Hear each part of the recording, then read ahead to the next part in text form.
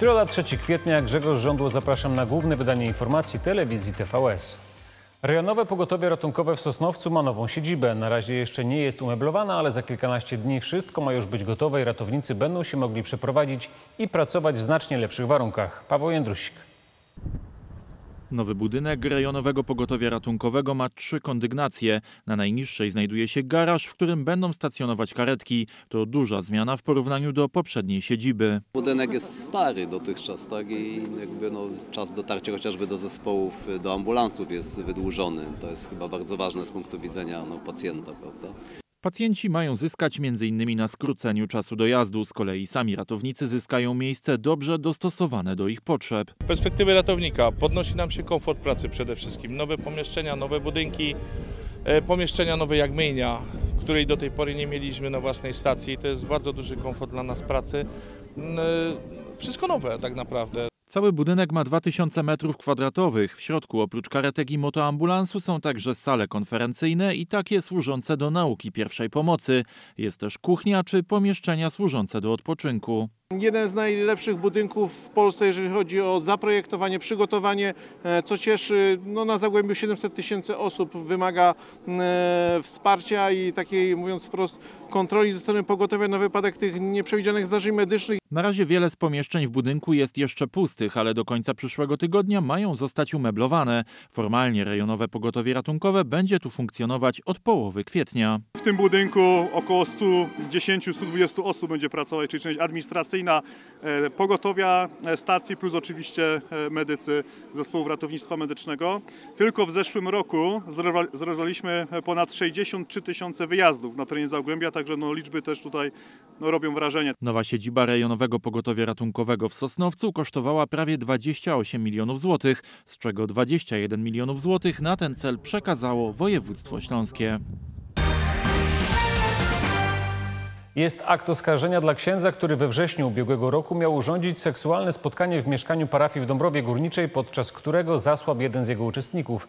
Jednocześnie nadal prowadzone jest postępowanie w sprawie śmierci młodego mężczyzny w mieszkaniu innego księdza w Sosnowcu. Paweł Jędrusik. Akt oskarżenia wobec księdza Tomasza Z. z parafii w Dąbrowie Górniczej obejmuje cztery zarzuty. Trzy z nich to przestępstwa z ustawy o przeciwdziałaniu narkomanii i są związane z udzielaniem narkotyków. Natomiast ostatnie przestępstwo, numer cztery, dotyczy nieudzielenia pomocy osobie, która znajdowała się w położeniu grożącym bezpośrednim niebezpieczeństwem utraty życia i ciężkiego uszczerbku na zdrowiu. Za popełnienie tych przestępstw oskarżonemu grozi kara do 8 lat pozbawienia wolności. Przypomnijmy, podczas seksualnej orgii jeden z jej uczestników zasłabł. Wówczas, jak ustaliła prokuratura, ksiądz Tomasz Z. nie chciał wpuścić do mieszkania ratowników.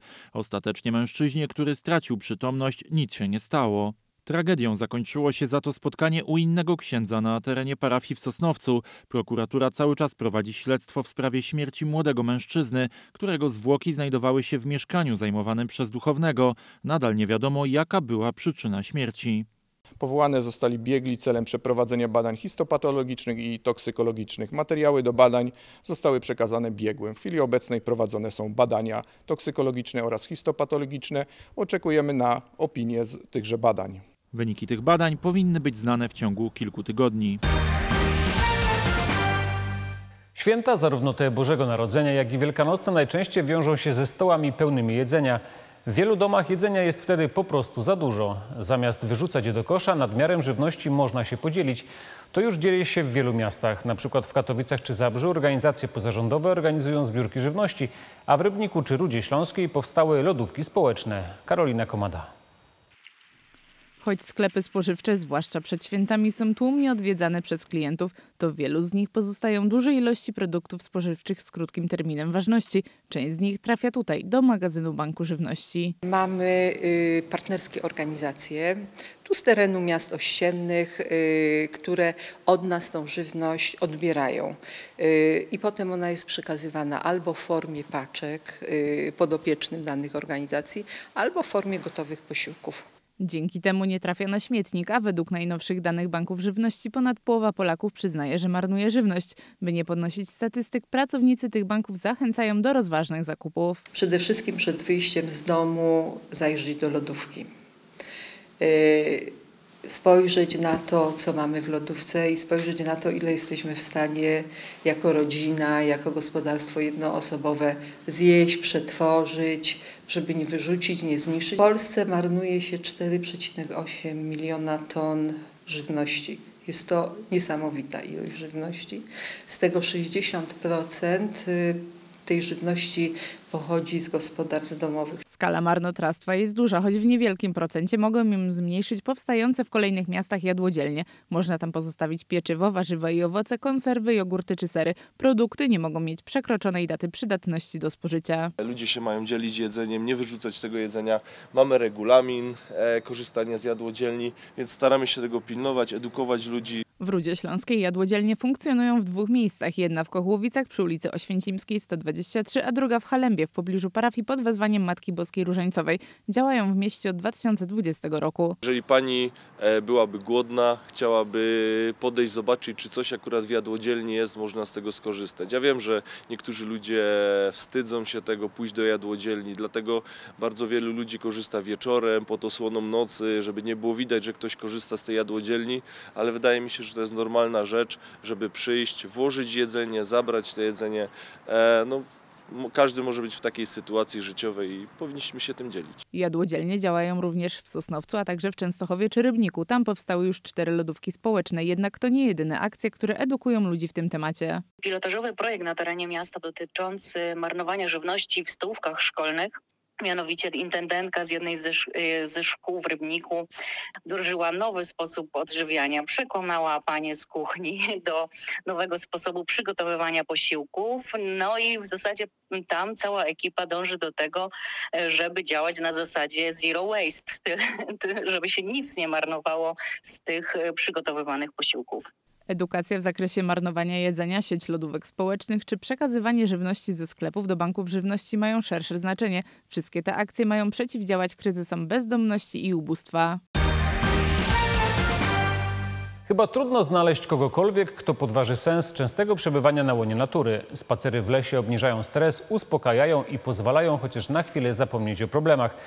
Jednak zwłaszcza w mieście las nie zawsze jest na wyciągnięcie ręki. No chyba, że taka mała namiastka lasu. W Ministerstwie do Spraw Samotności otwarte zostały gabinety do leśnej terapii, w których można usłyszeć śpiew ptaków i porozmawiać z terapeutami. Karolina Komada. Chociaż oczywiście nic nie zastąpi prawdziwego lasu i spacerów wśród drzew, to uruchamiając wyobraźnię, w tym miejscu można mieć pewną namiastkę lasu. W Ministerstwie do Spraw Samotności otwarte zostały gabinety do leśnej terapii. Pobyt w nich ma przybliżyć zwłaszcza seniorów do natury. Wszyscy tęsknimy, widzimy jak świat idzie do przodu, jak wiele się zmienia i często jesteśmy szybciej, bardziej w telefonie, w komputerze niż w wielu innych rzeczach. Las nas przybliża do, do natury, do, do, do tego, co, od czego się wszystko zaczęło, stworzenia świata, od tych pierwotnych rzeczy. My wszyscy za tym tęsknimy, nie zawsze na to mamy czas, więc dzisiaj kto nie ma możliwości, czy siłowej, e, zdrowotnej, czy nie ma czasu, żeby wyjechać do lasu, może przyjechać do Ministerstwa do Spraw Samotności, poczuć się znowu jak w lesie.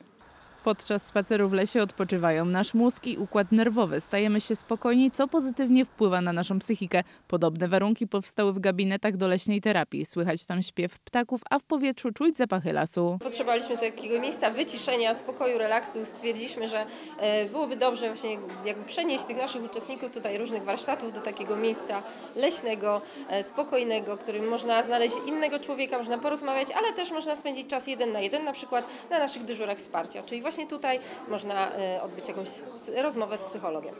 Miejsce ma zachęcać do rozmowy i otwarcia się przed terapeutą. Niektórym może to przynieść bardzo pozytywne efekty. Coraz bardziej dostrzegamy, że, e, że to, że zgłaszamy się po wsparcie, po pomoc psychologa nie oznacza, że jesteśmy nienormalni, jak to się czasami nieładnie mówi, tylko że każdemu z nas to może trochę ułatwić, e, ułatwić po prostu usprawnić nasze, nasze życie, więc to jest bardzo ważne i promowanie tego, że, że terapia bardzo często ratuje życie i pomaga nam, nam wszystkim. Bo ja mam poczucie, że nie wiem, moja terapia terapia pomaga nie tylko mi, ale, ale też mojej żonie, mojej rodzinie, mojemu, mojemu otoczeniu. W gabinetach doleśnej terapii będzie czekać profesjonalne wsparcie. Mieszkańcy Katowic i okolic mogą skorzystać z pomocy i porozmawiać o trudnych sytuacjach życiowych. Wstęp jest bezpłatny. To wszystko, co przygotowaliśmy dla Państwa w środę. Jutro czekamy o stałych porach. Do zobaczenia.